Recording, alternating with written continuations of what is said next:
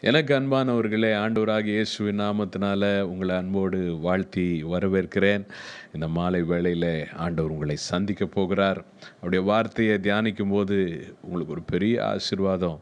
நீங்கள் மாலையில் நினத்தையும் கொழுப்பையும் உண்டது போல என் ஆத்மா திருப்தியாகும். என் வாய் ஆனந்த கழிப்புள்ள உதடுகளால் உம்மை போற்றும் சங்கீதக்காரன். அறுபத்தி மூணாம் சங்கீதத்தில் சொல்கிறது உங்கள் அனுபவமாக மாறப்போது ஜெபிக்கலாமா? ஜபிச்சுட்டு இந்த அருமையான நேரத்தை ஆண்டோர் கருத்தில் ஒப்பு கொடுத்து கர்த்தரை பாடி துதிப்போம். நேசிக்கிற அன்பின் பிதாவே எங்கள் தேவனே எங்கள் நம்பிக்கையே எங்கே இரண்டு அல்லது மூன்று பேர் நாமத்தினால் கூடியிருக்கிறீர்களோ உங்கள் நடுவில் இருக்கிறேன்னு சொன்னவரே இந்த நேரத்தில் ஆண்டுவரே ஆன்லைனில் ஆண்டவரே நாங்கள் ஒரே குடும்பமாக நம்முடைய பிள்ளைகளாக கூடி உம்மை துதிக்க ஆராதிக்க கத்தர் கொடுத்துருக்கிற கிருபைக்காக சோத்திரம் இந்த நேரத்தை ஆசீர்வதியும் உங்கள் பிரசனங்களை நிரப்பட்டும். உடைய பிள்ளைகள் ஆண்டவரே இந்த மாலை வேளையில் ஆவியில் நிரப்பப்பட்டு கழிகூறத்தக்கதாக பரிசுத்தாவே எனக்கு கிருபை தருவீராக. இயேசுவின் நாமத்தில் பிதாவே ஆமே நம்முடைய தேவன் தாயின் மேலாய் நம்மை நேசிக்கிறவர். நம்மளை மறவாதவர். அப்பாவை போல நம்மளை சுமக்கிறவர். சேர்ந்து பாடுவோமா? உம்மை அப்பானு கூப்பிடுவே உம்மை அம்மானு கூப்பிடுவே உம்மை அப்பானு கூப்பிடுவே உம்மை அம்மானு கூப்பிடுவே அப்பா கூப்பிட ஆசை. அப்பானு கூப்பிடவா? உம்மை அம்மானு கூப்பிட ஆசை. அம்மானு கூப்பிடவா? கருவில் என்னை சுமந்தத பார்த்தான். அம்மானு கூப்பிடுவே உம் தோளின் மேலே சுமந்தத பார்த்தா அப்பானு கூப்பிடுவே என்னை கெஞ்சுவத கொஞ்சுவத பார்த்தா அம்மானு கூப்பிடுவே என்னை ஏந்துவத தாங்குவத பார்த்தா அப்பாது கூப்பிடுவே உம்மை அப்பாது கூப்பிடுவே உம்மை அம்மாது கூப்பிடுவே உம்மை அப்பாது கூப்பிடுவே உம்மை அம்மானு கூப்பிடுவே. உம்மை அப்பானு கூப்பிட ஆசை. அப்பானு கூப்பிடவா. உம்மை அம்மானு கூப்பிட ஆசை. அம்மானு கூப்பிடவா. காயம் எல்லாம் மாற்றுவத பார்த்தா அம்மானு கூப்பிடுவேன். நான் கேட்பதெல்லாம் கொடுக்கிறத பார்த்தா அப்பானு கூப்பிடுவேன். தவறையெல்லாம் மன்னிப்பத பார்த்தா அம்மானு கூப்பிடுவே. பாதை தவறாமல் நடத்துவத பார்த்தா அப்பானு கூப்பிடுவே. உம்மை அப்பானு கூப்பிடுவே. உம்மை அம்மானு அப்பானு கூப்பிடுவே. உம்மை அம்மானு கூப்பிடுவே. அப்பானு கூப்பிட ஆசை. அப்பானு கூப்பிடவா. உம்மை அம்மானு கூப்பிட ஆசை. அம்மான்னு கூப்பிடவா அவர் தாயினும் மேலாக அன்பு வைக்கிறவர். அவரை நேசித்து இந்த நேரத்தில் உண்மை போல யாரும் இல்லைன்னு சொல்லுவோம் தாயினும் மேலாய் என் மேல் அன்பு வைத்தவர் நீரே. ஒரு தந்தையை போல என் என்னையும் மாற்றி தேற்றிடுவீரே. தாயினும் மேலாய் என் அன்பு வைத்தவர் நீரே. ஒரு தந்தையை போல என்னையும் மாற்றி தேற்றிடுவீரே. என் உயிரோடு கலந்தவரே. உறவாலே மகிழ்ந்திடுவே என் உயிரோடு கலந்தவரே. உம்முறவாலே மகிழ்ந்திடுவே. உம்மேலே அன்பு வைத்தே நான் எதையும் செய்வே உம்மேலே வைத்தே நான் உமக்காக எதையும் செய்வே எந்த கால்கள் இடரும் போது விழுந்திட மாட்டே உம் தோளின் மேலே ஏறிக்கொண்டு பயணம் செய்வே எந்த கால்கள் இடரும் போது விழுந்திட மாட்டேன் தோளின் மேலே ஏறிக்கொண்டு பயணம் செய்வேன். உயிரோடு கலந்தவரே. உறவாலே மகிழ்ந்திடுவே என் உயிரோடு கலந்தவர். உறவாலே மகிழ்ந்திடுவேன் இன்னொரு விசை சொல்லுவமா என் நீரோடு கலந்தவரே உறவாலே மகிழ்ந்திடுவே உம்மேலே அன்பு வைத்தே நமக்காக எதையும் செய்வே. உம்மேலே அன்பு வைத்தே நான் உமக்காக எதையும் செய்வே.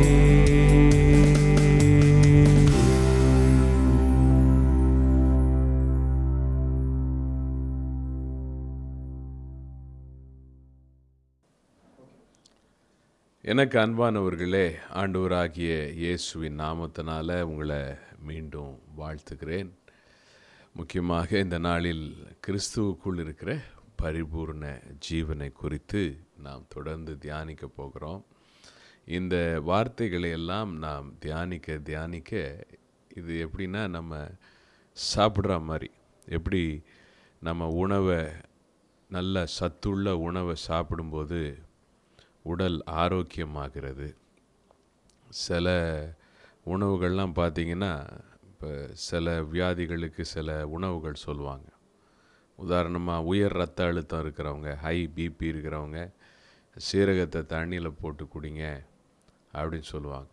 அந்த பிளட் ப்ரெஷர் நார்மல் ஆகும் அது மாதிரி சர்க்கரை நோய் இருக்கிறவங்க வெந்தயம் தண்ணியில் போட்டு குடிங்க. அப்படியெல்லாம் சொல்லுவாங்க. அஹ், குதிரைவாலி அரிசி சாப்பிடுங்க அப்படியெல்லாம் சொல்லுவாங்க. அப்போ அது ஆரோக்கியத்தை கொடுக்குது. அப்போ சில உணவுகளுக்கு நாம் பலனாக இருப்பது மாத்திரமல்ல இருக்கிற நோய்களை கூட எடுத்து போடக்கூடிய ஒரு தன்மையை ஆண்டவர் அதுக்குள்ளார வச்சிருக்கிறார் பாருங்கள் இப்போ ஆண்டவருடைய வார்த்தையை நம்ம தியானிச்சிட்ருக்கிறோம் ரோமர் நிருபத்திலேருந்து கிறிஸ்துவுக்குள்ளே இருக்கிற பரிபூர்ண ஜீவன் எவ்வளோ பெரிய வல்லமை இருக்குன்னு சொல்லிட்டு. இதை உங்கள் இருதயத்தை திறந்து நீங்கள் ஒவ்வொரு வாரமும் கேட்டுட்ருக்கிறீங்க. நீங்கள் கேட்க கேட்க என்ன நடக்குதுன்னா உங்களை அறியாமலே ஒரு ஒரு மாற்றம் உங்கள் சிந்தையில் உண்டாகி கொண்டிருக்கிறது. அதை நீங்கள் பார்த்து கொண்டிருக்கிறீர்கள். நீங்கள் தொடர்ந்து பார்க்க போகிறீங்க எத்தனை பேர் நான் ஏற்கனவே இதை நான் கேட்க கேட்க எனக்குள்ளார ஒரு மாற்றம் என் சிந்தையில் ஒரு பலன் ஒரு தெளிவு உண்டாகிறத பார்த்துட்டு இருக்கேன்னு சொல்கிறீங்க ஒரு ஆமேன்னு சொல்லுவீங்களா? ஆமேன். ப்ரைஸ் காட் நிச்சயமாக கத்தருடைய வார்த்தைக்கு பெரிய வல்லமை இருக்குது இந்த வார்த்தையை நம்ம பெற்றுக்கொள்ளும்போது மனசை திறந்து பெற்றுக்கொள்ளும்போது ஆவியிலே இந்த வசனம் கருத்தரிக்கிறது. இது ஒரு பெரிய ரகசியம். இதை பற்றி இன்னும் இன்னொரு நாள் உங்களோட நான் பேசுவேன். வசனம் என்ன சொல்லுதோ ஆவியை திறந்து நீங்கள் அந்த வசனத்தை பெற்றுக்கொண்டீங்கன்னா அது உங்கள் ஆவியிலே கர்ப்பம் தரிக்கும். அப்படின்னு என்ன அர்த்தம்? அந்த வார்த்தை உங்கள் ஆவியிலே ஒரு வல்லமையாக உருவெடுக்கும். அந்த வார்த்தை பிறகு மாம்சமாகும். அதாவது அந்த வார்த்தை உங்கள் வாழ்க்கையில் அனுபவமாகவே மாறிவிடும் அற்புதமாக மாறும். தெய்வீக சுகமாக வெளிப்படும். வேலை இல்லைன்னா வேலை கிடைக்கும். பொருளாதார கஷ்டங்களை நீக்கி போடும். இழந்ததை திருப்பி கொடுக்கும். இவ்வளோ பவர் ஆண்டவர் வார்த்தைக்கு இருக்குது நம்ம ஆவியை திறந்து பெற்றுக்கொள்ளும்போது அது நம்முடைய ஆவியில் அந்த வார்த்தை கருத்தரிக்கிறது. பெரிய ரகசியம் ஒரு நாள் இதை குறித்து பார்ப்போம். ஆனால் இன்றைக்கி நாம் இது இதை திறந்து வசனத்தை நீங்கள் பெற்றுக்கொள்ள போகிறீங்க உங்களோட நான் ஆண்டவருடைய வார்த்தையை தேவனுடைய ஸ்டூவர்டாக கர்த்தருடைய வார்த்தையை எப்படி ஆண்டவர் வந்து அந்த வார்த்தையை நமக்கு எழுதி வச்சிருக்கிறார் அதை உங்களுக்கு கொண்டு வருவதில் மகிழ்ச்சி அடைகிறேன். ரோமர் எட்டாம் அதிகாரத்தில் நாம் பார்க்கிறோம். போன வாரத்தில் முதல் ரெண்டு வசனங்களை நாம் பார்த்தோம். ஆனபடியால் கிறிஸ்தியேசுக்கு உட்பட்டவர்களாக இருந்து மாம்சத்தின்படி நடவாமல் ஆவியின்படி நடக்கிறவர்களுக்கு ஆக்கினை தீர்ப்பில்லை. கிறிஸ்தியசுவினாலே ஜீவனுடைய ஆவியின் பிரமாணம் என்னை பாவம் மரணம் என்பவைகளின் பிரமாணத்திலிருந்து விடுதலையாக்கிற்றே. போன வாரம் உங்களோட நான் பகிர்ந்து கொண்டதனுடைய காரியத்தை உங்களுக்கு நினைவுபடுத்துகிறேன் ஏதேன் தோட்டத்தில் ரெண்டு மரத்தை ஆண்டவர் நடுவில் வச்சார். ஜீவ விருட்சத்தை ஜீவ கனியை கொடுக்கிற விருட்சம். அதை சாப்பிட்டா கடவுளுடைய ஆற்றல் வந்துவிடும். அந்த கனியை சாப்பிட்டால் கடவுளுடைய ஜீவன் கடவுள் எப்படி பரிசுத்தமாக இருக்கிறாரோ அவருடைய ஞானம் எல்லாமே வந்துடும் இன்னொரு பக்கத்தில் அதே நடுவில் நன்மை தீமை என்னது என்கிற கனி. அதை சாப்பிட்டா எது நல்லது எது கெட்டது எது நன்மை எது பாவம் அப்படின்னு தெரியும். மனுஷன் ஜீவக்கனியை சாப்பிட்ருந்தான்னா கடவுளை போலவே எல்லா ஆற்றலும் உடையவனாக இருந்திருப்பான். ஆனால் அவன் அதை செய்யாமல் பிசாசு வஞ்சித்து நன்மை தீமை அடையத்தக்க கனியை அவன் சாப்பிட்டான். அறியத்தக்க கனியை சாப்பிட்டான். விழுந்து போனான்னு நம்ம பார்க்குறோம். அதுலேருந்து நம்ம வந்த ஒரு முடிவு என்னென்னா நல்லது எது கெட்டது என்று என்பதை தெரிந்து கொள்ளுகிற அறிவு மனிதனை நல்லவனாக வாழ வைக்கவில்லை. கெட்டதை தான் செய்ய வச்சுச்சு. ஆனால் ஜீவ கனியை அந்த ஜீவனை ஒரு மனுஷன் பெற்றுக்கொண்டான்னா கடவுளுடைய ஆற்றல் கடவுளுடைய பரிசுத்தம் புனிதம் கடவுளுடைய வல்லமை இதெல்லாம் அவனுக்குள்ளார வந்துடும்போது அவன் கடவுள் எப்படி எல்லாமே அவருக்கு தெரிஞ்சிருந்தாலும் அவர் நல்லவராக தான் இருக்கிறாரு நல்ல பாதையில் தான் போவார் தீமை செய்ய மாட்டார் பொல்லாப்பு செய்ய மாட்டார். அதே போல் மனிதனும் அவன் தேவனுக்கு பிரியமான பாதையில் போவான் பாருங்கள் அப்போ உங்களுக்கு ஒரு கேள்வி.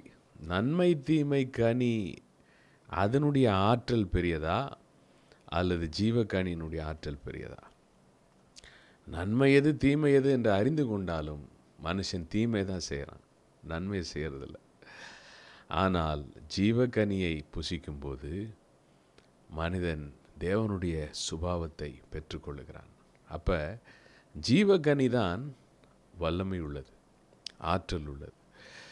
அதை தான் பவுல் எழுதுகிறாரு ஆக்சுவலாக ஆண்டவர் இயேசு கிறிஸ்து இந்த பூமியிலே அவர்தான் ஜீவக்கனியாய் வந்தார்.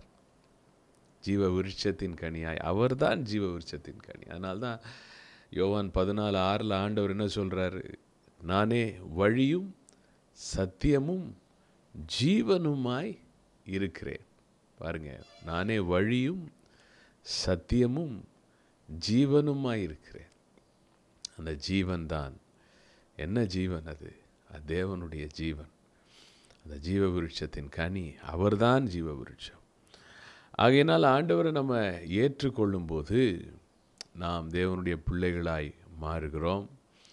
அதே நேரத்தில் பரிசுத்த ஆவியானவரின் வல்லமையை நாம் பெற்றுக்கொள்ளும்போது நாம் இங்கே ரோமர் எட்டு ரெண்டில் வாசிக்கிற மாதிரி நாம் ஜீவனுடைய ஆவியின் பிரமாணத்திலே நடக்க ஆரம்பிச்சிடறோம். அப்படின்னா என்ன அர்த்தம்? அந்த ஜீவ விருட்சத்தின் கனிக்குள்ளார ஒரு வல்லம் இருந்துச்சு ஒரு பேராற்றல் இருந்துச்சு. பரிசுத்த ஆவியில் ஒரு மனுஷன் நிரம்பும் போது அந்த பேராற்றல் தேவனுடைய பேராற்றல் அந்த மனுஷனுக்குள்ளே வந்து விடுகிறது. அவனால் பாவம் செய்ய முடியாது. அவன் பரிசுத்தமாய் வாழ்கிறான். எப்படின்னா நான் பரிசுத்தமாக வாழணும் வாழணும் வாழணும் அப்படி யோசிச்சில்ல. அவனுடைய சுபாவத்தையே ஆவியானவர் மாற்றிடுறார் ஸ்பான்டேனியஸ்னு சொல்லுவாங்க.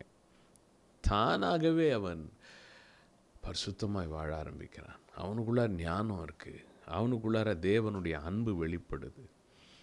இதுதான் ஜீவனுள்ள ஜீவனுடைய ஆவியின் பிரமாணம். ஸோ அப்போ அந்த அந்த கனி ஜீவ கனிக்குள்ளார ஒரு ஆற்றல் இருந்தது. அந்த ஆற்றல் ஒருவேளை ஆதாம் மேவால் அதை சாப்பிட்ருந்தாங்கன்னா இதை இந்த கனியை சாப்பிடாம ஜீவ கனியை சாப்பிட்ருந்தாங்கன்னா அந்த ஆற்றல் அவர்களை தேவனைப் போலவே நன்மை செய்கிறவர்களாக மாற்றியிருக்கும். அதே ஆற்றலை தான் இன்றைக்கி ஆவியானவர் நமக்கு கொடுக்குறார் பாருங்க.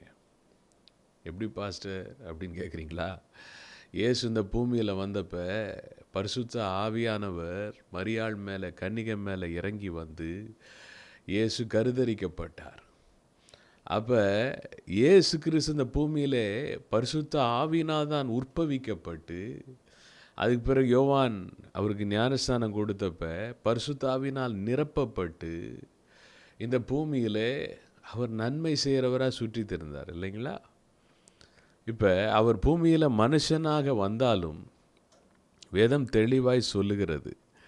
எல்லா விதத்திலும் அவர் நம்மை போல சோதிக்கப்பட்டும் பாவம் இல்லாதவராய் இருக்கிறார். எபிரேயர் நாலாம் அதிகாரம் பதினாலாம் வசனம். வாசிச்சு பாருங்க. அங்கே வேதம் அதை தெளிவாக சொல்லுகிறது. பாவம் இல்லாதவராக இருக்கிறார். ரெண்டு குறைந்தர் அஞ்சு இருபத்தி ஒன்று சொல்லுது இயேசு பாவம் அறியாதவராக இருக்கிறார் என்று சொல்லி. ஒன்று பேதரு ரெண்டாம் அதிகாரத்தில் வேதம் சொல்லுகிறது அவர் பாவம் செய்யாதவர் என்று சொல்லி. அப்போ பாவம் இல்லாதவர் பாவம் அறியாதவர் பாவம் செய்யாதவர். எப்படிங்க இவ்வளோ மோசமான உலகத்தில் இருந்துட்டு பாவமான உலகம் பாவப்பட்ட உலகம்னு சொல்கிறாங்க இல்லைங்களா? எப்படி ஒரு மனித ரூபத்தில் வந்த ஒருவர் பாவம் செய்யாதவராக இருக்க முடியும்? பாவம் இல்லாதவராக இருக்க முடியும். பாவம் அறியாதவராக இருக்க முடியும். ஒரே ரகசியம்தான். பரிசுத்த ஆவியினால் இயேசு உற்பவிக்கப்பட்டார். அந்த ஆவியானவர் அவரை வேற லெவலில் கொண்டு போயிட்டார். வேற லெவல்னு சொல்லும்போது பாவம் இயேசுவை அணுகவே முடியாது. சுற்றிலும் பாவமான சூழ்நிலை இருக்கலாம். பாருங்க அவருக்குள்ளார அந்த பாவம் வர முடியாது. அந்த வெளிச்சத்துக்கு இருக்கிற பவர் பாருங்க. எவ்வளோ கும் இருட்டான ரூமாக இருக்கட்டும். ஒரு கேண்டில் அங்கே கொளுத்தி வைங்க. அந்த கேண்டில் அந்த இருட்டு அப்படி சாப்பிட்டு மென்று முழுங்கிட முடியுமா? கிடையாதே. வெளிச்சம் தான் எப்பயுமே இருட்டை தோக்கடிக்கும். அதே தான் இயேசுக்குள்ளே இருந்த ஆவியானவர்.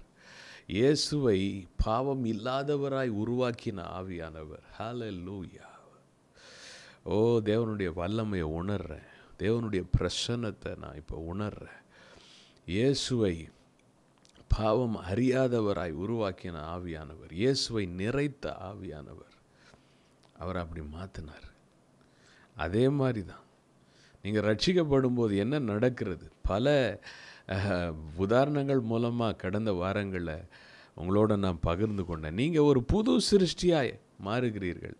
ஆவியானவர் உங்கள் ஆவியை ஒரு புதிய சிருஷ்டியாக உருவாக்குகிறார். இயேசுவை எப்படி மரியாள் கற்பத்தில் மரியாளுடைய வயிற்றில் எப்படி இயேசுவை ஆவியானவர் உருவாக்கினாரோ அதே போல பரிசுத்த ஆவியானவர் உங்கள் ஆவியை ஒரு புது ஜீவியாக ஒரு புது சிருஷ்டியாக உண்டாக்குகிறார். ஹலலூயா ஹலலூயா அப்படிப்பட்ட ஒரு ஆவியாக உங்கள் உங்கள் ஆவி இருக்குது. ப்ரைஸ் காட் இது எத்தனை பெரிய பாக்கியம். இது எத்தனை பெரிய ஸ்லாக்கியம். ஆகையினால் நீங்கள் கிறிஸ்துவுக்குள்ளார் இருக்கிறீங்க. உங்கள் ஆவி மறுபடியும் பிறந்திருக்கிற அந்த ஆவி அது சாதாரணமாக இல்லை. ஆவி ஆத்மா சரீரமாக நாம் இருக்கிறோம். அந்த ஆவி கிறிஸ்து எப்படி ஆவியானவரால் மரியாளின் வயிற்றில் உருவாக்கப்பட்டாரோ அதே போல தான் உங்களுடைய ஆவி மறுபடியும் பிறந்திருக்கிறது. அது ரொம்ப வளமையான ஒரு அனுபவம். சரி இப்போ இன்றைக்கி உங்களுக்கு சில காரியங்களை நான் சுருக்கமாக சொல்ல போகிறேன் அதாவது இயேசு கிறிஸ்து வல்லமை உள்ளவராக சுற்றி திரிந்தார் அவர் ஏதோ பாவம் இல்லாதவர் பாவம் அறியாதவர் பாவம் செய்யாதவர். ஆனால் அப்பாவியாக அவர் அப்படியே அமைதலாக இருந்துட்டு போயிட்டார். அப்படி கிடையாது.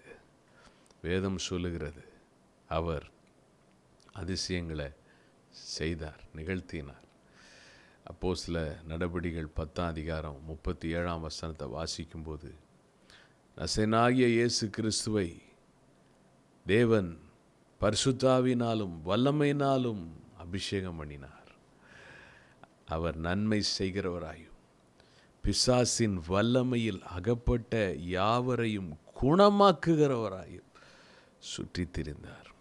ஹலலூயா அப்போ பாருங்க ஆண்டவர் ஒரு பக்கம் பரிசுத்த ஜீவியம் செய்கிறார் இன்னொரு பக்கம் பவர் லைஃப் வல்லமை வாழ்க்கை வெற்றி வாழ்க்கை கட்டுகளை உடைக்கிறார் ஜனங்களை சுகமாக்குகிறார் அற்புதங்களை செய்கிறார். எப்படி என்று பார்க்கும் பொழுது வேதம் சொல்லுகிறது பரிசுத்த ஆவியினால் அவரை அபிஷேகம் பண்ணினார். ரெண்டுத்துக்கும் வித்தியாசம் இருக்கு. மரியாள் வயிற்றில் பரிசுத்த ஆவியினால் அவர் உற்பவிக்கப்பட்டார். உற்பவிக்கப்படுறது ஒரு அனுபவம். இன்னொன்று பரிசுத்த ஆவியினால் அவர் அபிஷேகம் பண்ணினார். எப்போ அபிஷேகம் பண்ணினார்? வேதம் அதை தெளிவாக நமக்கு சொல்லுது இல்லைங்களா? லூக்கா எழுதின சுவிசேஷம். மூன்றாம் அதிகாரத்தை திருப்பிக் கொள்வோம். அங்கே இருபத்தி ஓராம் வசனம் இருபத்தி ரெண்டாம் வசனம். ஜனங்கள் எல்லாரும் ஞானஸ்நானம் பெற்றபோது இயேசுவும் ஞானஸ்நானம் பெற்று ஜெபம் பண்ணுகையில் வானம் திறக்கப்பட்டது. இப்போ ஞானஸ்நானம் பெற்று ஆண்டவர் ஜோம் பண்ணுறார் என்ன ஜோம் பண்ணியிருப்பார் எனக்கு பரிசுத்த ஆவியானவரின் அபிஷேகம் வேணும் அப்படின்னு ஜெபம் பண்ணியிருப்பார் இருபத்தி ரெண்டாம் வசனம். பரிசுத்த ஆவியானவர் ரூபம் கொண்டு புறாவை போல் அவர் மேல் இறங்கினார். வானத்திலிருந்து ஒரு சத்தம் உண்டாகி நீர் என்னுடைய நேசகுமாரன் உம்மில் பிரியமாயிருக்கிறேன் என்று உரைத்தது. எனக்கு அருமையானவர்களே இங்கே பார்க்குறோம். ஆண்டவர் ஜெபம் பண்ண உடனே வானம் திறக்கப்பட்டு பரிசுத்த ஆவியானவர் ஒரு ரூபத்தில் புறா ரூபத்தில் ஆண்டவர் மேலே இறங்கினாராம். இறங்கின பிறகு ஒரு சத்தம் கேட்குது பிதாவின் சத்தம். இவர் என் நேசகுமாரன். நீர் நேசகுமாரன். உண்மையில் பிரியமாயிருக்கிறேன். எனக்கு அருமையானவர்களே இதுதான் இயேசு கிறிஸ்து அபிஷேகம் பண்ணப்பட்ட நேரம். நாலாம் அதிகாரத்தில் ஒன்றாம் வசனம் சொல்லுது இயேசு பரிசுத்த ஆவியானவரால் ஆவியினாலே நிறைந்தவராய். யோர்தானை விட்டு திரும்பி ஆவியானவராலே வனாந்திரத்துக்கு கொண்டு போகப்பட்டு. நாலாதிகாரம் பதினாலாம் வசனம் சொல்லுது பின்பு இயேசு ஆவியானவருடைய பலத்தினாலே கலிலையாவுக்கு திரும்பி போனார். அப்போ பாருங்கள் அந்த அபிஷேகத்துக்கு இருக்கிற ஒரு காரியம் அது பவர் இருக்குது பலம் ஆங்கிலத்தில் பவர்னு போட்டிருக்கு. போய் அந்த கலிலையால் ஒரு ஆலயத்தில் ஜெப ஆலயத்தில் அவர் நாசுரியத்து ஊர் வளர்ந்த ஊரில் பிரவேசித்து புஸ்தக சூரில் வாசிக்கிறார். நாலு பதினெட்டு சொல்லுகிற கத்தருடைய ஆவியானவர் என் மேல் இருக்கிறார். தரித்திரத்துக்கு சுவிசேஷம் பிரசங்கிக்கும்படி என்னை அபிஷேகம் பண்ணினார். பார்த்தீங்களா? அப்போ யோர்தான் நதியில் நடந்தது என்ன? பரிசுத்த ஆவியினால் இயேசு அபிஷேகம் பண்ணப்பட்டார். அந்த அபிஷேகம் பண்ணப்படும் போது தான் அதுக்கப்புறம் அந்த நாலு பதினெட்டில் இருதயம் நொறுங்குண்டவர்கள் குணமாக சிறைப்பட்டவர்கள் விடுதலை குருடருக்கு பார்வை நொறுங்குண்டவர்கள் விடுதலை. இதெல்லாம் கத்தருடைய அனுக்கிரக வருஷத்தை பிரசித்தப்படுத்து. என்னை அனுப்பினார். இந்த அனுக்கிரக வருஷம்னா என்னென்னா இழந்ததை எல்லாம் திரும்பி கொடுக்குற ஒரு வல்லமை. அதுதான் அனுக்கிரக வருஷம்னா. ஸோ இந்த அபிஷேகம் இயேசுவின் மேலே இருந்தது. இயேசுவின் மேலே இருந்தது. அதாவது ஆண்டவர் பிறந்தப்ப ஆவியானவரால் அவர் உருவாக்கப்பட்டாலும் அதாவது கற்பம் கர்ப்பத்தில் மரியாள் கர்ப்பத்தில் அவர் அப்படியாக உற்பவிக்கப்பட்டாலும் மீண்டும் முப்பதாவது வயதிலே அவர் அபிஷேகம் பண்ணப்படுகிறார். அதுபோல தான் நம்ம ரட்சிக்கப்படும் போது ஆவியானவர் தான் நம்மை புது சிருஷ்டியாய் உருவாக்குகிறார். ஆனால் அது மாத்திரம் போதாது பரிசுத்த ஆவியின் அபிஷேகத்தை நாம் பெற்றுக்கொள்ள வேண்டும். இந்த அபிஷேகம் இதுதான் எல்லாமே பரிசுத்த ஆவியின் அபிஷேகம்தான் நமக்கு எல்லாவற்றையும் அல்லது வல்லமையை தருகிறது. வல்லமையை தருகிறது. இப்பொழுது ரோமர் எட்டாம் அதிகாரத்தில் நான் உங்களுக்கு சில காரியங்கள் மூணு காரியங்களை சொல்ல விரும்புகிறேன். முதலாவது ஒன்றாம் வசனம் சொல்லுகிறது ஆவியின்படி நடக்கிறவர்களுக்கு அப்போ பரிசுத்த ஆவியிலே நாம் நடக்கிறவர்களாய் இருக்க வேண்டும். ஆவியின்படி நடக்கிறவர்களுக்கு ஆக்கினை தீர்ப்பு இல்லை. ரெண்டாம் வசனம் சொல்லுகிறது கிறிஸ்து இயேசுவினாலே ஜீவனுடைய ஆவியின் பிரமாணம் என்னை பாவம் மரணம் என்பவைகளின் பிரமாணத்தினின்று விடுதலையாக்கிற்றே. அப்போ இந்த அதிகாரத்தில் முதலாவது பவுல் என்ன சொல்கிறாரு மாம்சத்தின்படி நடவாமல் ஆவியின்படி நடக்கிறவர்களுக்கு ஆக்கினை தீர்ப்பு இல்லை. கிறிஸ்து இயேசுவுக்கு உட்பட்டவர்களாக இருந்து இப்போ இயேசுக்குள்ளார வந்துட்டோம். இயேசுக்குள்ளார வந்த பிறகு நான் மாம்சத்தின்படி நடக்கக்கூடாது ஆவியின்படி நடக்கணும். அப்படி நடந்தால் ஆக்கினை தீர்ப்பு இல்லை. ஆக்கினை தீர்ப்புனா போன வாரம் உங்களுக்கு பகிர்ந்து கொண்டேன் தண்டனை தீர்ப்பு. மூன்று தண்டனைகள் இருக்குன்னு பகிர்ந்து கொண்டேன். ஒரு மனுஷன் பாவம் செய்யும்போது முதல் மனசாட்சி அவனை தண்டிக்குது. குற்றம் மனசாட்சி. குற்றமுள்ள நெஞ்சு குறுகுறுக்கும். இருக்கும் அதை நம்ம பார்த்தோம். இன்னும் இரண்டாவது பாவத்தினால் உண்டாகிற விளைவுகளை நாம் பார்த்தோம். அந்த தண்டனை. மூணாவது தேவனுடைய நியாய தீர்ப்பும் அந்த தண்டனையும் இருக்கிறது. ஆகையினால் இதில் எல்லாத்திலிருந்தும் கிறிஸ்துவுக்குள்ளார நம்ம வந்துட்டோம் அப்படின்னா வந்த பிறகு நம்ம பரிசுத்த ஆவியில் நடக்கும்போது ஆவியின்படி நடக்கும்போது மாம்சத்தின்படி நடக்கக்கூடாது. அது என்ன? மாம்சத்தின்படி நடக்கிறதுனா என்ன? மாம்சத்தின்படி நடக்கிறதுனா சிம்பிளாக சொல்லணுன்னா நம்முடைய என் பலத்தை நான் சார்ந்து நடக்கிறது அப்படின்னு ஒருத்தவங்க நினைக்கிறேன் நான் செஞ்சிருவேன் நான் பண்ணிடுவேன் பொதுவாக மனுஷனுக்கு இதான பிரச்சனை. மனுஷன் எப்பயுமே எப்படி யோசிக்கிறான்? நான் செய்வேன் நான் பண்ணுவேன். எனக்கு யார் இருக்கா? எனக்கு யார் உதவி செய்வா? என்னை யார் தூக்கி விடுவா? எனக்கு அருமையானவர்களே. இப்போ இந்த நான் செஞ்சிருவேன் எனக்கு யார்? இப்படி யோசிக்கிறது தான் மாம்சத்தின்படி நடக்கிறது. அப்போ இதில் மாம்சத்தில் நடக்கும்போது நான் நான் இதெல்லாம் செஞ்சுருக்கிறதுனால நான் நல்லவன். நான் அவங்கள மாதிரி தப்பு செய்யலை அதனால் நான் நல்லவன். இது எல்லாமே மாம்ச சிந்தை. நியாயப்பிரமாணம் ஒரு மனிதனுக்குள் மாம்ச சிந்தையை உண்டாக்கினது. நியாயப்பிரமாணத்தை ஒருத்தவன் நிறைவேற்றும் போது அவன் என்ன நினச்சிக்கிறான்? அறநூற்றி பதிமூணு கட்டளைகள் ஏறத்தாழ இருக்குது நியாயப்பிரமாணத்தில். அதில் ஒரு ஐம்பது செஞ்ச உடனே என்ன தோணுது? ஒரு மனுஷனுக்கு என்ன தோணும்? ஆ பரவாயில்லையே நான் ஐம்பது காரியத்தில் நல்லவனாக இருக்கிறேன். அப்போ அந்த எண்ணம் வந்துட்டாலே அவன் மாம்சத்தில் நடக்கிறான்னு அர்த்தம். ஏன்னா அவனுக்குள்ள ஒரு பெருமை வந்துடுது பாருங்கள் பெருமை எல்லாமே மாம்ச சிந்தை தான். பெருமையை உண்டாக்குகிற எல்லா எண்ணமும் மாம்ச சிந்தை. அதனால் மாம்ச சிந்தைனா நம்ம பெருசாக ஒன்றும் குழப்பிக்கிறதுக்கு ஒன்றுமே கிடையாது. நான் என்று என் நினைக்கிறது எனக்கு யார் இருக்கா அப்படின்னு நினைக்கிறது ஏ- இன்னும் நான் இதெல்லாம் செய்கிறதுனால நல்லவன் நான் அந்த கட்டதெல்லாம் செய்யாதனால நான் நல்லவன். இது எல்லாமே மாம்ச சிந்தை தான். இப்போ மாம்ச சிந்தையில் இருக்கிறவங்களுக்கு தேவனுடைய வல்லமை அவங்க பார்க்க முடியாது. ஒரு அளவுக்கு தான் அவங்க ஆசீர்வாதம் பார்க்க முடியும். ரட்சிக்கப்பட்டே இருந்தால் கூட. ஆனால் பவுல் எழுதுகிறார் மாம்சத்தின்படி நடவாமல். நடவாமல்னா மாம்சத்தின்படி வாழாமல் ஆவியின்படி நடக்கிறவர்களுக்கு ஆக்கினை தீர்ப்பில்லை. இந்த தண்டனை யாருக்கு வராதுன்னா ஆவியின்படி நடக்கணும். இப்போ நீங்கள் கேட்கலாம். பாஸ்டர் மாம்சத்தின்படி நடக்கிறதுனா எனக்கு புரியுது. ஆவியின்படி நடக்கிறதா நான் புரிஞ்சிக்க விரும்புகிறேன் அதுக்காக தான் இந்த செய்தியை இன்றைக்கி நம்ம பார்க்குறோம் தொடர்ந்து பார்க்க போகிறோம் ஏன்னா ரோமர் எட்டாம் அதிகாரத்தை பவுல் எழுதியிருக்கிறதுக்கு காரணமே என்னவென்றால் ஆவியின்படி நடக்கிறதுனா என்ன? கிட்டத்தட்ட ஒரு ஒம்பது குறிப்பு இதில் இருக்குது ரோமர் எட்டாம் அதிகாரத்தில் ஏறக்குறைய ஒம்பது குறிப்பு. ஏறக்குறைய ஒம்பது குறிப்பு. ஆவியின்படி நடக்கிறதுனா என்ன? இப்போ இந்த ஆவியின்படி நம்ம நடக்க ஆரம்பிச்சிட்டோன்னா நடக்கிறோன்னா நமக்கு தண்டனை தீர்ப்பு இல்லை. ப்ரைஸ் காட் அப்படின்னா என்ன அர்த்தம்? மனசாட்சி குற்றப்படுத்தாது. மனசாட்சி குற்றப்படுத்தாத ஒரு மகிமையான வாழ்க்கையை நம்ம வாழ ஆரம்பிச்சிருவோம். அடுத்தது நாம் செய்கிற செய்த காரியங்கள் ஒருவேளை கடந்த காலங்களிலே அறிந்தோ அறியாமலோ செய்த காரியங்கள் இவைகளின் விளைவுகள் எல்லாம் எடுக்கப்பட்டு விடும் எடுக்கப்பட்டு விடும் எடுக்கப்படுமா? எடுக்கப்படும் வேதம் சொல்லுகிறது. மூன்றாவது தேவனுடைய நியாய தீர்ப்பு கடவுள் கொடுக்கிற தண்டனை தீர்ப்புக்கும் அதிலிருந்தும் விடுதலை. மூணு விஷயத்திலேருந்து விடுதலை. எப்பேற்பட்ட ஆசீர்வாதம் பாருங்க. பிரமாதமான பிரமாதமான ஆசீர்வாதம்.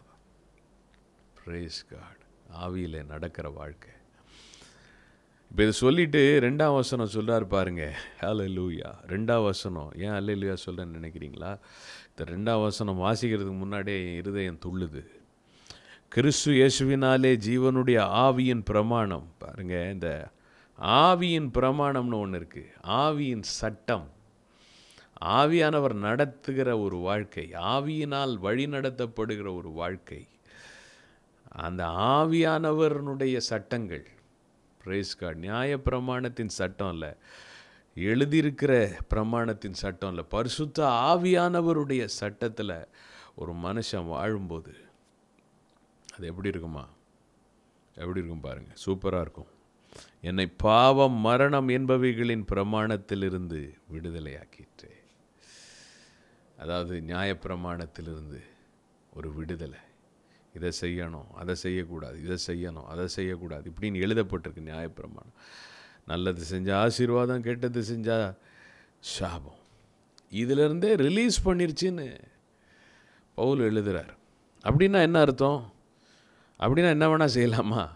அப்படி கிடையாது அப்படி கிடையாது. அப்படின்னா என்ன அர்த்தம்? இது ஒரு மேலான வாழ்க்கை. இது ஒரு உன்னதமான வாழ்க்கை. இது ஒரு மகிமையான வாழ்க்கை. அலையலூயா தேங்க்யூ சீசஸ் ஒரு உதாரணம் கொடுக்குறேன். ஒரு நாட்டில் மன்னரால் ஆட்சி செய்யப்படுற நாடு அந்த நாட்டில் ஒரு குடிமகன் இருக்கிறான். குடிமகன் என்றால் என்ன? ஒரு சாதாரண பாமரன் சிட்டிசன் அவனுக்கு சில சட்டங்கள் எல்லாம் இருக்கிறது. என்ன? இப்போ சாதாரணமாக நம்ம நாட்டில் எடுத்துட்டால் கூட பதினெட்டு வயசானால் தான் லைசன்ஸ் எடுக்கணும் ஓட்டு போடணும். ஒரு ரோட்டில் போனால் எப்படி வண்டி ஓட்டுறது? எல்லாத்துக்குமே சட்டம் இருக்குது கல்யாணத்தை பற்றிய சட்டம் எந்த வயசில் கல்யாணம் ஆகணும் எந்த வயசுக்கு முன்னாடி கல்யாணம் ஆகக்கூடாது. இன்னும் சொத்துக்களை குறித்த சட்டம். எவ்வளவோ சட்டம் இருக்குது இப்போ இந்த சட்டத்தெல்லாம் அவன் நம்ம அடிப்படையாக நம்ம என்ன ஓரளவுக்கு அறிஞ்சு வச்சுருக்குறோம் இல்லைங்களா? பதினெட்டு வயசு ஆனால் தான் நம்ம ஓட்டு போட போக முடியும். பதினெட்டு வயசு ஆனால் தான் லைசன்ஸ் எடுக்க முடியும். லைசன்ஸ் எடுத்து தான் வண்டியை ஓட்டணும். எடுக்காமல் ஓட்டினா அது வந்து பிரச்சனை. அப்போ பாருங்கள் இதெல்லாம் ஒரு குடிமகனுக்கு இந்த சட்டங்களை இவன் பார்த்து பார்த்து பார்த்து இதெல்லாம் செய்கிறான் இது செய்யாதவர்கள் எத்தனையோ பேர் உண்டு. ஆனால் அந்த மன்னரால் ஆட்சி செய்யப்படுகிற ஒரு நாடுன்னு வச்சுப்போமே அந்த மன்னருக்கு ஒரு மகன் இருக்கிறான். ஒரு ராஜகுமாரன். அவன் பேர் மன்னருக்கு மகன்னா மன்னனின் மைந்தன். ஒரு ராஜகுமாரன் இளவரசன். அந்த இளவரசன் வந்து அவனுடைய வாழ்க்கை சிந்தை எப்படி இருக்கும் பாருங்க. அவன் எப்படி யோசிப்பான்? நம்ம இந்த தப்பு பண்ணக்கூடாது அந்த தப்பு பண்ணக்கூடாது அப்படி யோசிக்க மாட்டான். அவனுக்கு அடிப்படை எண்ணமே என்ன இருக்கணும் இருக்கும்னா இந்த நாடு முழுவதும் நம்மை அண்ணாந்து பார்க்கிற ஒரு இடத்துல நம்ம இருக்கிறோம். அதனால் இந்த தப்பு பண்ணக்கூடாது இதை பண்ணணும் அதை பண்ணணும் இதை பண்ணக்கூடாது இப்படி அவன் நினைக்க மாட்டான். அவன் அவன் எண்ணமே வித்தியாசமாக இருக்கும். அவன் எப்படி வாழ்வான்னா நாம் வாழ்கிற பிரமாதமான வாழ்க்கையை பார்த்து இந்த நாட்டில் இருக்கிற அத்தனை குடிமக்களும் நம்மளை மாதிரி ஒரு நல்ல பாதையில் வாழணும் அப்படின்னு சொல்லிட்டு நம்மளை மாதிரி ஒரு மேலான எண்ணத்தோடு வாழணும். அப்படி ஒரு முன் உதாரணமாக இருக்கணும் நம்ம. ஒருவேளை அந்த அந்த அந்த நாட்டில் ஒரு பத்து கோடி மக்கள் இருக்கிறாங்கன்னு வச்சுப்போமே அந்த பத்து கோடி குடிமக்களும் நாம் நம்மளை பார்த்து அண்ணாந்து பார்த்துட்டு நம்மளை மாதிரி ஒரு நல்ல வாழ்க்கையை அவங்க வாழணும். ஒரு நல்ல பாதை. அப்படி தான் அவன் என் நினைப்பானே ஒழிய அவனுக்கு வேறு எண்ணமே இருக்காது. வேறு விதமான எண்ணமே இருக்காது. ஏன்னா அவன் வேறு லெவலில் இருக்கிறான். இப்போ முன்னாள் ஜனாதிபதி அப்துல் கலாம் அவர்களை குறித்து நமக்கு கேள்விப்பட்டிருக்கிறோம். மரியாதைக்குரியவர் நல் மதிப்பிற்குரியவர். அவர் பார்த்தீங்கன்னா அந்த ராஷ்டிரபதி பவனில் ஒரு ஒரு மிகப்பெரிய அறிவியல் மேதை. அவர் இப்படிப்பட்ட காரியங்களுக்கு போகவும் விரும்பாதவர் அரசியல் காரியங்களுக்கு. ஆனாலும் அவருக்கு அந்த நாட்டின் முதல் குடிமகன் ஜனாதிபதி என்கிற ஒரு ஒரு அந்தஸ்து கொடுக்கப்பட்டப்ப அவர் அங்கே இருந்து அதெல்லாம் முடித்த பிறகு பாருங்க ஒரு சூட்கேஸோட உள்ளார போனாராம் ஜனாதிபதி ராஷ்டிரபதி பவனுக்குள்ளார. ஒரு சூட்கேஸோடு போனவர். அந்த சூட்கேஸோட அந்த பெட்டியோட அவர் வெளியில் வந்தாராம். தன்னுடைய நாட்கள் சேவை நாட்கள் முடிந்த பிறகு. ஏன்னா ஒரு இப்போ நம்மெல்லாம் அதை கேட்கும்போது நமக்கு எப்படி புல் அரிக்குது இல்லைங்களா? ஒரு நாட்டிலேயே மிக ஆற்றல் வாய்ந்த ஒரு பதவி. ஆனால் எப் எப்பேற்பட்ட இன்றைக்கி வந்து அப்படிப்பட்ட ஒரு வாழ்க்கை பாருங்கள் எத்தனையோ அரசியல் தலைவர்களை பற்றி எவ்வளவோ காரியங்கள் சொல்லப்படுது. இப்படி பண்ணிட்டாங்க அப்படி பண்ணிட்டாங்கன்னு. ஆனால் அவர் வாழ்க்கையை பாருங்கள் ஏன்னு பார்த்தீங்கன்னா அவர் சிந்தித்த விதமே வித்தியாசம். ஒரு நாட்டில் நம்ம இவ்வளோ மேலான ஒரு நிலையில் இருக்கிறோம். இப்போ நம்ம வாழ்கிற வாழ்க்கையை பார்த்து மற்றவங்க இந்த குடிமக்கள் எல்லாம் அதை பின்பற்றணும். இப்போ நம்ம இதை கேட்கும்போது இப்போ நம்மளும் ஒருவேளை உங்களுக்கு நாளைக்கு அது மாதிரி ஒரு பதவி கிடைச்சா கூட ஒருவேளை அந்த ஜனாதிபதி பதவி இல்லாட்டினா கூட நம்ம கிடைக்கிற பதவியில் நம்ம வந்து கரெக்டாக இருக்கணும் அப்படின்னு ஒரு தோணுதில்ல அந்த தோணை வச்சிட்டார்ல அவர் வாழ்ந்த வாழ்க்கை. அதுதான்.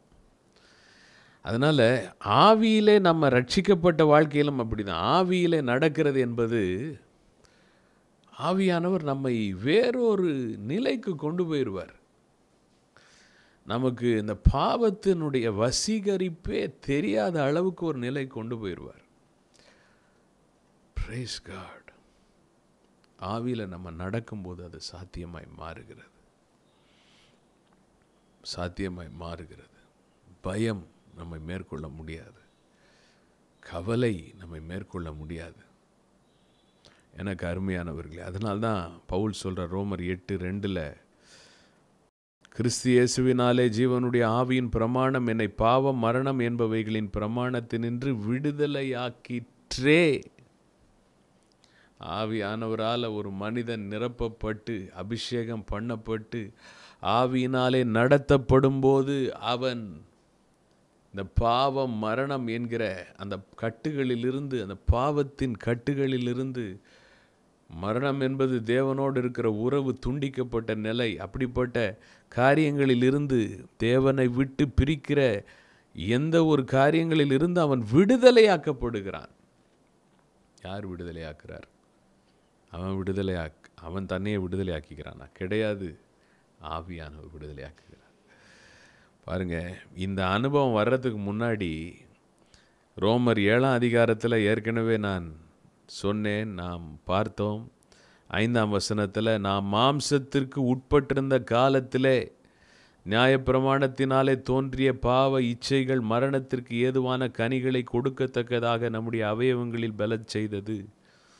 மாம்சத்தில் இருந்த நாட்களில் பாவ இச்சையில் மாட்டிக்கிட்டு அந்த பாவம் அந்த அடிமைத்தனத்தில் மாட்டிட்டு பலன் செய்தது என்று நாம் என்று சொல்லுகிறார் தன்னையும் சேர்த்து சொல்லுகிறார். விசுவாசிகள் ரட்சிக்கப்படுறதுக்கு முன்னாடி இருந்த நிலையை சொல்கிறாரு அபிஷேகம் பெறதுக்கு முன்னாடி இருந்த நிலையை சொல்கிறார் ஆனால் அதே அதிகாரத்தில் நீங்கள் கடைசியில் பார்த்தீங்கனாலும் அதே தான் சொல்கிறார் ரோமர் ஏழு இருபத்தி நாலு நிர்பந்தமான மனுஷன் நான் இந்த மரண சரீரத்தினின்று யார் என்னை விடுதலையாக்குவார்? ரட்சிக்கப்படுறதுக்கு முன்னாடி பவுலுடைய ஆவி ஒவ்வொருத்தவனுடைய ஆவி மனிதன் பழைய மனுஷனாக இருந்தான். ஆதாம் ஏவாள் கனியை சாப்பிட்டது நிமித்தம் செத்துப்போன ஒரு நிலை. நன்மை தீமை எதுன்னு தெரிஞ்சிருச்சு. ஆனால் நன்மை செய்யக்கூடிய வல்லமை இல்லாமல் போயிருச்சு. பவுல் சத் ரொம்ப வேதனையோடு சொல்கிறார் யார் என்னை விடுதலையாக்குவார்? நான் அந்த பாவத்திலிருந்து விடுதலையாக்கணும் பரிசுத்தமாக வாழணும். நான் பயத்திலேருந்து விடுதலையாகணும். எதிர்காலத்தை குறித்த தைரியத்தோட நம்பிக்கையோட வாழணும். யார் என்னை விடுதலையாக்குவான்னு கேட்டுட்டு அதுக்கு பதில் தான் ரோமர் எட்டு ரெண்டு. கிறிஸ்து இயேசுவினாலே பாருங்கள் ஆண்டவர் இயேசுவினாலே. ஜீவனுடைய ஆவியின் பிரமாணம் என்னை பாவம் மரணம் என்பவைகளின் பிரமாணத்தின்று விடுதலையாக்கிற்றே. விடுதலையாகி விட்டேன் என்று எழுதுகிறார். ஆலலூயா நன்றி சொல்வீங்களா? ஆண்டவருக்கு நன்றி சொல்வீங்களா? பரிசுத்த ஆவியானவர் ஒரு தேவ பிள்ளையை பரிசுத்த ஆவியானவரின் அபிஷேகம் ஒரு தேவ பிள்ளையை அது பாவத்தின் பிரமாணத்திலிருந்து விடுதலையாக்குகிறது. விடுதலையாக்குகிறது. தேங்க்யூ ஜீசஸ் அதனால் தான் பரிசுத்த ஆவியின் அபிஷேகத்தை நாம் பெற்றுக்கொள்ள வேண்டும். ஆவியில் நிரம்பி இருக்கணும். யோவான் எழுதின சுவிசேஷத்தில் மூன்றாம் அதிகாரத்தில் எட்டாம் வசனம் பரிசுத்த ஆவியினாலே ஒரு மனிதன் நிறைந்திருக்கும் பொழுது என்ன நடக்கிறது என்று பார்க்கும்போது காற்றானது தனக்கு இஷ்டமான இடத்திலே வீசுகிறது. அதன் சத்தத்தை கேட்கிறாய். ஆகிலும் அது இன்ன இடத்திலிருந்து வருகிறதென்றும் இன்ன இடத்திற்கு போகிறதென்றும் உனக்கு தெரியாது. ஆவியினால் பிறந்தவன் எவனோ அவனும் அப்படியே இருக்கிறான். காற்று அதுக்கு விருப்பமான இடத்துல வீசுது பாருங்க. பரிசுத்த ஆவியினாலே பிறந்தவன் பரிசுத்த ஆவியினாலே நிரப்பப்பட்டவன். பரிசுத்த ஆவியினாலே அபிஷேகம் பண்ணப்பட்டவன். அந்த மனுஷன் ஆவியினாலே நடத்தப்படுகிறான். ஆவியினாலே நடத்தப்படுறான். வேற லெவல். வேற லெவல். இன்னொரு உதாரணத்தை சொல்கிறேன் பாருங்கள் ஏன்னா இந்த இந்த உதாரணங்கள் நான் மனதில் வைத்து கொண்டோன்னா இந்த மாம்சத்தின்படி வாழ்கிறதுக்கும் ஆவியின்படி வாழ்கிறதுக்கும் இருக்கிற வித்தியாசம் புரிந்து கொள்வோம். இந்த ரோட்டில் நம்ம ஒரு சைக்கிள் ஓட்டிகிட்டு போனாலும் டூ வீலர் ஓட்டிகிட்டு போனாலும் கார் ஓட்டிகிட்டு போனாலும் இல்லை பஸ்ஸில் போனாலும் சில நேரத்தில் அந்த ரோடு ஒருவேளை ரோடு ரிப்பேர் பண்ணிகிட்டு இருக்காங்கன்னா இல்லை ரோடு ஒரு இடத்துல புதுசாக உடைச்சிட்டு போட்டுட்ருக்காங்கன்னா என்ன நடக்குது? ஒரு அமைப்பை அடையாளத்தை வைத்திருப்பாங்க.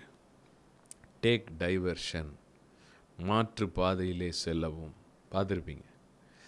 நடுவில் ஒரு பிரிட்ஜு போடுறாங்க திடீர்னு.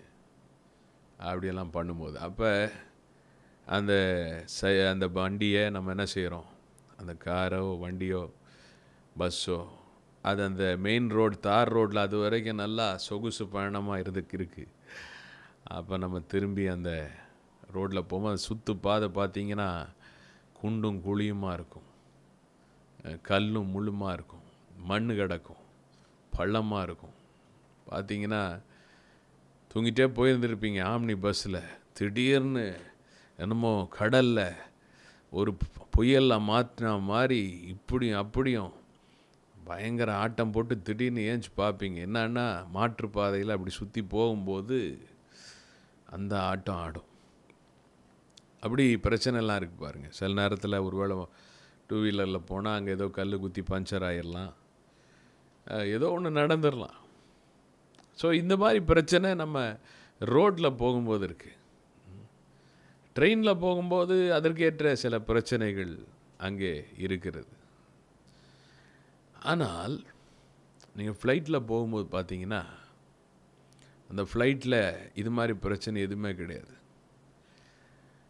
அது சுற்றுப்பாதையில் போகாது. அங்கே யாரும் ரோடு போட தேவையே இல்லை. பஸ்ஸாக இருக்கட்டும் ட்ரெயினாக இருக்கட்டும் பஸ்ஸு வந்து பஸ் ரோடு சுற்று முற்றி தான் போகும். ட்ரெயின் ட்ராக்கு கொஞ்சம் ஓரளவுக்கு ரெண்டு ஊருக்கு நடுவில் கொஞ்சம் நேராக போகும். ஆனால் அதுவும் கொஞ்சம் சுற்றி முற்றி போகும். பஸ் அளவுக்கு இல்லை. ஆனால் ஃப்ளைட் அப்படி கிடையாது. ஃப்ளைட்டு சுற்றவே சுற்றாது பெரும்பாலும் ஒரு இடத்துலேருந்து கிளம்பும்போது அடுத்த இடத்திற்கு நேர் கோட்டில் போயிடும் திருச்சியிலேருந்து கிளம்புறீங்க. துபாய்க்கு போனோன்னா நேர் கோடில் போயிடும் சிங்கப்பூருக்கு போனோன்னா நேர் கோட்டில் போகும். சுற்றுறது வளர்க்கிறது ஒன்றுமே கிடையாது. டேக் ஆஃப் லேண்டிங்கில் மாத்திரம்தான். மற்ற நேரத்தில் நேர் கோடு. ஏன்னா மற்ற ட்ரெயினாக இருக்கட்டும் பஸ்ஸாக இருக்கட்டும் இதெல்லாம் தரை தளத்தில் போகிற வாகனங்கள். ஆனால் விமானம் அது போகிற தளமே வேற. அங்கே தரையே பார்க்க முடியாது. அது ஆகாயம். அது காற்று தளம். அது அங்கே விண்ணிலே வானத்திலே பறக்கிறது. அது மாதிரி தான் அப்போ பூமியில் பூமியின் தளத்தில் வாழ்கிறது அது நியாயப்பிரமாணம். அந்த நியாயப்பிரமாணம் வாழ்க்கை கிடையாது. இது பரிசுத்த ஆவியினால் நீங்கள் நிரப்பப்படும் போது எப்படி ஒரு விமானம் காற்றிலே அது எடுத்து செல்லப்பட்டு நேர்கோட்டிலே சென்று செல்ல வேண்டிய இடத்தை அடைகிறதோ அது போல தான் பரிசுத்த ஆவியானவர் உங்களை நடத்தும் போது ரொம்ப ஆச்சரியமாக இருக்கும் ஆண்டவருங்க சொல்கிறாரு நிறைய பேருக்கு அது புரியாது. காற்று எங்கேருந்து வருது எங்கே போகுது புரியாது. ஆவியில் நடத்தப்படுகிற மனுஷன் அவன் வாழ்கிற விதம் நிறைய பேருக்கு புரியாது. இப்போ நமக்கே வந்து எப்படிங்க இவ்வளோ வெயிட்டான விமானம் வானத்தில் பிறகு நம்ம ஒரு கல்லை விட்டு மேலே போட்டாலே கீழே வந்துடுது டப்புன்னு வந்து விழுது இவ்வளோ வெயிட்டான விமானம் எப்படி பறக்குது விளங்கலையே அப்படின்னு யோசிக்கிறோம். அதுக்கு நிறையா விஷயங்கள் வச்சுருக்குறாங்க பாருங்கள் இந்த த்ரஸ்ட்னு சொல்கிறாங்க அதுதான் விமானத்தை பறக்க வைக்கிறது. எனக்கு அருமையானவர்களே அப்போ அதே மாதிரி தான் இந்த ஆவியினால் ஒரு மனுஷன் நடத்தப்படும் போது அவன் அசாதாரணமான பரிசுத்தத்தில் இருப்பான். அசாதாரணமான தைரியம் அசாதாரணமான நம்பிக்கை அசாதாரணமான வெற்றி. எவ்வளோ போராட்டம் இருந்தாலும் அசாதாரணமான ஒரு சமாதானம். ஆச்சரியமாக இருக்கும். எப்படி இது? எப்படி இது? அதான் பரிசுத்த ஆவினால் நடத்தப்படுற ஒரு வாழ்க்கை. ஆகையினாலே அதை தான் பவுல் எழுதுகிறார் அதான் ஆண்டவர் இயேசு சொல்கிறார் நான் உங்களுக்கு சொன்ன மூணு காரியங்களை சொன் சொல்கிறேன்னு சொல்லிட்டு முதல் காரியம் பரிசுத்த ஆவியினாலே நடத்தப்படுகிற அல்லது ஆவியிலே நடக்கிற வாழ்க்கை.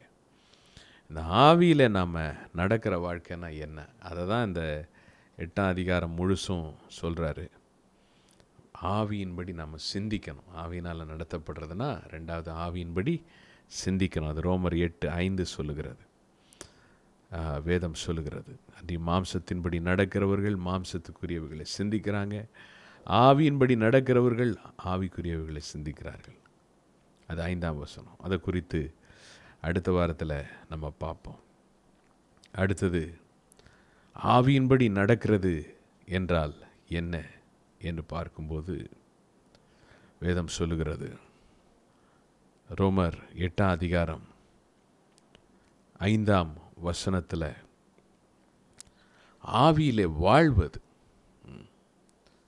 ரோமர் எட்டு ஐந்து சொல்லுகிறது. ஆவியிலே வாழ்கிறவர்கள். ஆங்கிலத்தில் those who live in the flesh those who live in the flesh ஆவியின்படி வாழ்கிற வாழ்க்கை ஆவியிலே ஜீவிக்கிற வாழ்க்கை. தமிழில் அது வேறு வார்த்தை பயன்படுத்தப்பட்டிருக்கு. ஸோ ஆவியில் நடக்கிறது ஆவியிலேயே வாழ்கிறது ஆவின்னு சிந்திக்கிறது. இந்த காரியங்களை வருகிற வாரத்தில் உங்களுக்கு விளக்கமாக சொல்ல போகிறேன் ஆனால் ரொம்ப முக்கியமான காரியம். இன்றைக்கி பரிசுத்த ஆவியின் அபிஷேகத்தை பெற்று பரிசுத்த ஆவியினாலே எப்பொழுதுமே நிரம்பி நீங்கள் வாழ்ந்து கொண்டிருக்கும்போது உங்கள் வாழ்க்கை அற்புதமான வாழ்க்கையாக மாறும். அற்பமான வாழ்க்கையை அற்புதமான வாழ்க்கையாய் மாற்றுவார். அதனால் பரிசுத்த ஆவியில் நிரம்பிக்கொண்டே இருங்க. சமைச்சாலும் நீங்கள் வேலைக்கு போகிறப்ப வர்றப்ப பைக் ஓட்டுறப்ப எல்லா நேரத்தும் ஒரு இடத்துல வெயிட் பண்ணிகிட்ருக்கிறப்ப கார் ஓட்டுறப்ப என்ன செஞ்சிட்டு இருந்தீங்கனாலும் ஆவியில் நிரம்பி அந்நிய பாஷைகளை பேசிகிட்டே இருங்க. அபிஷேகம் இன்னும் பெறாதவங்க பெற்றுக்கொள்ளுங்க. ஆவியில் நிரம்பி கொண்டே இருங்க. கத்தர் உங்களை நிரப்புவார். அபிஷேகம் இது வரைக்கும் பெறாதவங்களை கத்தர் நிரப்புவார். இப்போ நான் உங்களுக்கு செபிக்க விரும்புகிறேன் உங்கள் வாழ்க்கை அற்புதமாக மாறப்போகுது. செபிக்கலாமா எங்களை நேசிக்கிற அன்புள்ள தகப்பனை நாங்கள் துதிக்கிறோம் ஸ்தோத்தரிக்கிறோம். அப்படியே நன்றி சொல்ல ஆரம்பிங்க. தேவ பிரசனம் நீங்கள் இருக்கிற இடங்களில் இறங்கிட்டுருக்கு. உடைய அப்படியே வல்லம் இறங்கிட்டுருக்கு. அப்படியே அபிஷேகம் இறங்கிட்டுருக்கு. இயேசுவின் நாமத்தினால. தேங்க்யூ ஜீசஸ் நன்றி அப்பா. உடைய மகிமை இறங்கி கொண்டிருக்கிறதற்காக உமக்கு நன்றி. உமக்கு நன்றி. உமக்கு நன்றி உமக்கு நன்றி அப்பா. ஆண்டவரே இன்றைக்கு உடைய பிள்ளைகளை பரிசுத்த ஆவியின் வல்லமையினாலும் அபிஷேகத்தினாலும் அக்னியினாலும் நிரப்புவீராக நான் ஜெபிக்கிறப்பா நிரப்புவீராக தேங்க்யூ ஜீசஸ் உங்களுக்குள்ளார இருக்கிற அபிஷேகத்தை அனல் மூட்டி எழுப்புங்க. ஆவியில நிரம்பி ஜெபிக்க ஆரம்பிங்க. தேவ வல்லம் உங்க மேல இறங்கிட்டு இருக்கு. ஓ தரைத்தள வாழ்க்கை அல்ல. ஹாலலூயா அப்படி அபிஷேகத்தில் நீங்கள் நிரம்பும் போது ஆவியானவர் உங்களை பரிசுத்த ஆவியிலே நடத்தப்படுகிற வாழ்க்கை வேற ஒரு லெவல் வேற ஒரு அனுபவம் வேற ஒரு மகிமை. Thank you Jesus thank you Jesus thank you உன்னத அனுபவத்துக்குள்ள உன்னத அனுபவத்துக்குள்ள ஆவியானவர் நடத்துவார். அசாதாரணமான பரிசுத்தம் அந்த நேரத்தில் உண்டாகட்டும். சிந்தனைகளில் இருக்கிற கட்டுகள் உடைக்கப்படட்டும். அசாதாரணமான பரிசுத்தம் உண்டாகட்டும். அசாதாரணமான விடுதலை உண்டாகட்டும். அசாதாரணமான வெற்றி உண்டாகட்டும். பார்த்து கொண்டிருக்கிற போராட்டங்களில் அசாதாரணமான வெற்றி உண்டாகட்டும். பலவீனங்களில் அசாதாரணமான தேவ பலன் இறங்கட்டும். இயேசுவின் நாமத்தினால. ஓ ஹalleluya. வாழ்க்கையிலே ஓ செல்ல வேண்டிய பாதையிலே அசாதாரணமான ஞானம் உண்டாகட்டும். ப்ராப்ளம்ஸை சால்வ் பண்ணக்கூடிய அசாதாரணமான ஞானம் வேலை தொழிலில் அபிவிருத்தியை தேவ நாம மகிமைக்காக பார்க்கும்படியாய் அசாதாரணமான ஞானம் உண்டாகட்டும். தேங்க்யூ ஜீசஸ் கோரோபோ ஷகா டேரேபோசியா இயேசுவின் நாமத்தினாலே ஆண்டவரே அற்புதங்கள் நடந்து கொண்டிருக்கிறதற்காய் நன்றி. இன்றைக்கு நடந்து கொண்டிருக்கிறதற்காய் நன்றி. இந்த நேரத்தில் நடந்து கொண்டிருக்கிறதற்காக நன்றி அப்பா. நன்றி ஆண்டவரே. கோடா கோடி நன்றி. உம்மை கனப்படுத்துகிறோம். உம்மை மகிமைப்படுத்துகிறோம். உம்மையை உயர்த்துகிறோம். தொடர்ந்து நீங்கள் மகிமைப்படுங்க. பிள்ளைகளுக்கு என்ன தேவையாக இருந்தாலும். இன்னைக்கு பரிசுத்த ஆவிலே நிரம்புகிற உடைய பிள்ளைகளுக்கு தேவைகள் எல்லாம் சந்திக்கப்படுவதாக. தேங்க்யூ ஜீசஸ் இயற்கைக்கு அப்பாற்பட்ட விதத்தில் நீங்க செய்கிறதுக்காக நன்றி. இயேசுவின் நாமத்தில். ஆமேன் ஆமேன் praise காட் hallelujah. ஆண்டவர் உங்களை நிரப்பி இருக்கிறாரு ஆவியினால நிரப்பப்பட்ட வாழ்க்கை. அற்புதமான வாழ்க்கை. ஆவியினாலே நடத்தப்படுகிற அதிசயமான வாழ்க்கை. தொடர்ந்து அதில் நடக்க திரு உதவி செய்வாராக. செய்தியை மற்றவங்களோட ஷேர் பண்ணுங்க. ஆண்டவர் வளர